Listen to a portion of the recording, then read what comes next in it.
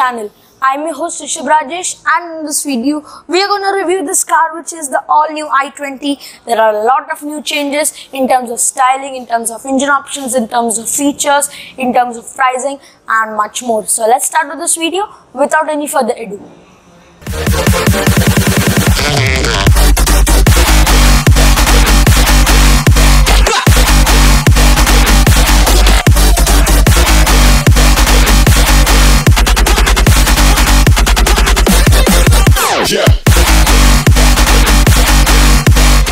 So when we see the front profile of this car, especially the grille, we feel that it is somewhere similar to the Verna 2020. Now why I say so is because it is quite wide and this is in full gloss black finishing, not black, black finishing. In the lower variants we get it in matte black finishing. Apart from that here we get the turbo badging and here we get the big Hyundai logo and here we get the skid plate again in black color contrasting with the red fiery red color of the car apart from that we get all led headlamps i'll show it over here. So we get all led headlamps along with dls and the most important thing is the attention to detail which has been given in this car and that is in many places the i20 badging has been given and here we get this honeycomb pattern mesh as well inside the headlamp. And th- these are LEDs by the way. And the indicators are not LEDs then the fog lamps which you get are a projector setup but these are yellow lamps. And here we get the radiator grill. And now uh, you know talking about this part so the bonnet opens from a bit above. And this tip which we see has been given a little lower on a lower half so that to give it an aerodynamic look. When we compare it to the European spec model the grill is quite lower than the European spec model. So now let's go to the side profile and show you what all is over there. Now we come to the side profile of the car. So first of all we see the 195 by 55 R16 precision cut alloy wheels which is finished in a gunmetal, uh, you know gunmetal color. And here we get the fender, the wheel fender which is again in body color. And they have given a character line to you know not integrate it with the body. Here we get a very prominent character line which is quite thin out here and goes very thick all the way till the end. And here again it is quite thin talking about the door handles it's in this is the asta variant which is one below the top but still we get chrome door handles along with request sensor only for the driver side. Here we get the electrically adjustable and foldable ORVMs along with side turn indicators and here's the DCT badging. Now when we talk about the side skirting it is a prominent side uh, skirting along with the same black color which is the dual tone format. And again attention to detail i20 badging out here apart from that the roof line when we see is a swooping roof line and this variant doesn't get a sunroof but the Asta option variant gets a sunroof finally because the older i20 didn't get a sunroof then we get a shark fin antenna also and when we see the A pillar, B pillar and C pillar we get it in matte black and here we get a quarter glass panel as well. Then this chrome window line goes all the way from the front till the back and here this fin kind of a design looks nice. So this is a separate piece and this is a separate piece. Now talking about the window, the glass area is the windows are quite big and chunky so that you feel quite roomy inside this cabin. And here we get this black element out here which when we um, you know get the dual tone finishing in this car which is the black one so this gets connected out here so now let's go to the rear profile and see what is available over there. So when we see the rear profile of this car first of all we see the new set of tail lamps in this car and these are full led ones. And again attention to detail we get the i20 badging out here. And here we get this one two and three elements so this one the first element is the indicator which are not leds this is a full led format. This is the brake light and this is uh, always on. And this is in a z shaped format and here we see we get this you know kind of a smoked out finishing. This is not exactly gloss black. When we see it from an angle we feel it's gloss black but it's actually a smoked finishing. Here we see as i told you we get this whole gloss black finishing out here which looks beautiful in this car. And again one element which we see is from one tail lamp to the other there is a chrome band with a reflector connecting to the other one. You know it looks so nice and we have seen it in other cars as well like the aura and more cars. Here we see the rear wiper with washer and here we get high mount stop lamp as I told you we get Shark 19 and here we get the rear spoiler and as this is a hatchback we don't get roof rails on this car. Now let's open the boot and we get a 311 liters of boot space which is sufficient enough to fit at least two suitcases and one briefcase. And here we get the parcel tray which is again quite big and chunky so that you can fit in like some posters or frames or whatever you want to fit in. And these seats are 60 40 splittable so you can get more space into this. Here we get a um, uh, what do you say? We get the boot lamp as well and even we open the boot area we can see that this is the spare wheel. And this spare wheel is 195 by 50 by R15 alloy wheels. These are not R16 alloy wheels. That thing is to be done. And this is the Hyundai uh, toolkit. And here we get the subwoofer of Bose. So I'll uh, also you know give you and show you the sound and I'll make you hear the sound effect of a Bose premium sound system. So it's a seven speaker sound system basically. Apart from that here we get two sensors one over here one over here and there's Asta badging out here 120 i20 sorry 120 i20 I get a little confused and overall this is what is there in the rear profile. And again this bumper out here it's kind of a fake diffuser but there is thankfully there is no kind of a fake exhaust or anything of that sort. So that's nice. The exhaust is down below. And talking about the departure angle it's actually not needed for a hatchback. It's not necessary to tell that. It's mainly for the off-roading vehicles. But i'm just telling you if you want to know that apart from that the windshield is quite big enough along with defoggers so now let's go to the interior and show you what all is available over there so before talking about the interior of the car, let me talk about the key. So it's a simple key which is given in all Hyundai cars. A lock button, a unlock button, a boot holding button and a panic notification button or horn sounding button which we see. Talking about IRVM, it's a manually adjustable day and night IRVM along with SOS, tow hook and blue link connectivity. Here we get the 10.25 inch touchscreen infotainment system which is the first in segment. This is the biggest touchscreen in its segment. Here we get the Creta steering wheel. It's a D-cut, not a flat bottom steering wheel. Please keep that in mind. Now talking about the controls of all of the you know the steering mounted controls they feel a little flimsy flimsier than the uh, than what we get in the Creta steering wheel. So somewhere Hyundai has done a cost cutting out here. But apart from that everything inside the car from the buttons to the AC vents and everything the uh, buttons the quality of stuff and material inside the car is pretty good.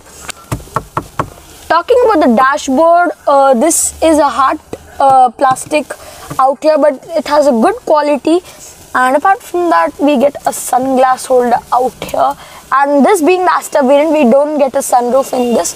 Uh, either we would have got or we would have got a you know sunroof open and closing button out here but this is the Asta variant so we don't get it. Uh, so there are lights. So these are cabin reading lamps which are in halogen which is in yellow lights not in the uh, what do you say LED lights or white lights. Now the best part is that even in this car we get the air purifier with room freshener and this is quite nice. It's a uh, Oxy Boost um, air purifier. Then the best part is the armrest is slidable which is not uh, you know uh, not there in many of the cars so Honda has done a good job with that and it has storage space as well. Now there are two cup holders. One is for obviously the air purifier. One is for the cup holder. Now in this uh, I'm not uh, okay so we do get a wireless charger in this variant as well. And uh, we get this you know blue ambient lighting on the footwell area uh, on all areas which is nice and apart from that the AC control looks quite futuristic. It's a all uh, automatic uh, AC control. And now let's just switch on the car and I'll show you the uh, what do you say? Instrument cluster. It's all digital instrument cluster. So even on the sports variant of the Hyundai i20 2020 we do get a all digital instrument cluster which is a good thing. And this is nice quite nice beautifully made. And even on this you get all the information which you want. We we can just toggle through this which is compass tire pressure monitoring system fuel economy again as i told you all of it is available out here which is a beautiful thing. And it works pretty well. No complaints out here.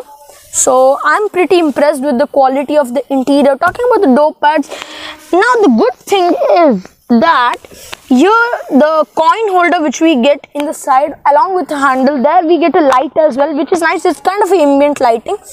So that's a good thing. So if we go for the turbo dct Asta optional variant we get red inserts also on offer so it gets a good uh, one. So that's nice a good touch out of which i have not seen in many cars till date. Now talking about all the controls on the driver side door we get the uh, up auto up down um, you know window. And then all the controls for other windows and child lock and lock and lock and for the ORVM to close and open and for adjusting the you know uh, way you want the angle of it.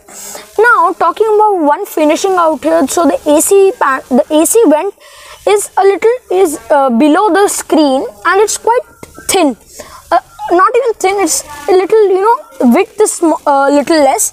But you know when we see like this on the dashboard the same kind of design has been carried forward which looks nice. It's kind of like a four vent which we have seen on the Ertiga as well or the XL6 and even on the door pads it is given like the same design which is nice and apart from that here we get the sun visor. And here we get a document holder. We don't get a mirror.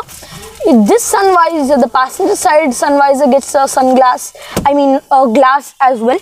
Now the seats are manually adjustable. They are not uh, electronically adjustable. And apart from that we have a USB charger out here a fast USB charger and a 12 volt charging socket. And apart from that this is how the front looks of the car and I'm pretty impressed with the controls man. Like it's nice. Now talking about practicality in this car um, uh, there is a uh, there is enough space for storing a one liter bottle in this car and there are small things which you can hold over here as well. Now let's talk about the Bose premium sound system. So we get a Bose 7 speaker premium sound system in this car which is the ultimate thing out here. And quickly I'll show you I'll make you hear a NCS music so that you get the perfect feel of the Hyundai i20's Bose premium 7 speaker sound system.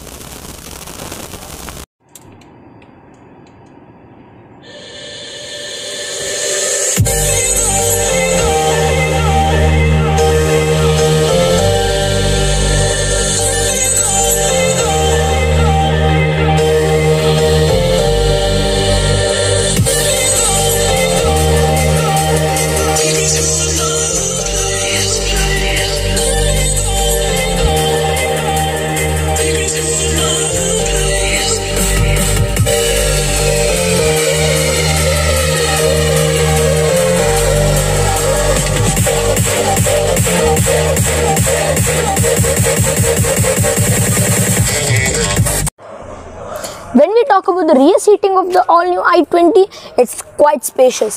So this uh, seat is neither pushed till the exact front nor till the exact back. So it's quite comfortable and Hyundai claims that in the segment it has the most amount of space at the back. Here we get two AC vents out here. Here we get a small cubby hole to keep your coins or your phone or anything. And here we get a fast USB charger. Again as I told you Bose premium sound system and again this whole thing out here is so nice. And talking about the same element at the back also we get and here we get the brushed aluminum handle out here. And here we get again the same 1 liter bottle holder storage. And in this variant we don't get the rear armrest because this is the Asta variant. And for the left passenger and the right passenger we get the three point seat belts but for the middle occupant we get the lap belt. Now let me tell you that in the Asta uh, only on the Asta optional we get adjustable headrest. Uh, for the left side passenger and the right side passenger even on the top end variant we don't get a headrest for the middle occupant not in this variant. Now talking about headroom it's quite enough knee room is sufficient more than sufficient here we get a good thigh support and overall the shoulder room is also nice i would have loved to show you three people sitting at the back but at that moment it is not possible but whenever we get a chance to uh, um, you know review this car in a little bit more detail, I'll surely make three people sit at the back and show you. So now let's talk about the engine options and prices.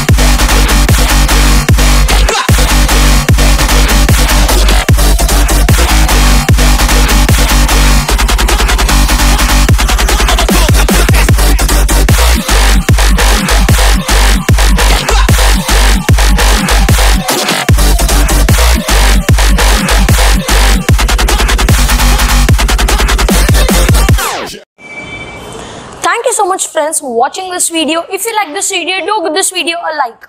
Also subscribe to our channel and after subscribing, please press the bell icon so that you never miss another update from Auto DNA. Thank you so much for watching. Jai Hind, Jai Bharat, Vande Mataram.